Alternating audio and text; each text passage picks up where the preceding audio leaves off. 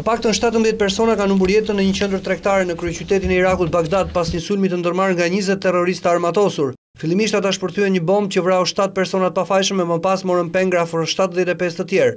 Situata vazhdoi e tillë për disa orë derisa forcat e sigurisë hynë në ndërtesë duke ekzekutuar të gjithë militantët. Ende nuk është e qartë se kush qëndron pas sulmit, por autoritetet dyshojnë se mund të jenë ekstremistët e Shtetit Islamik.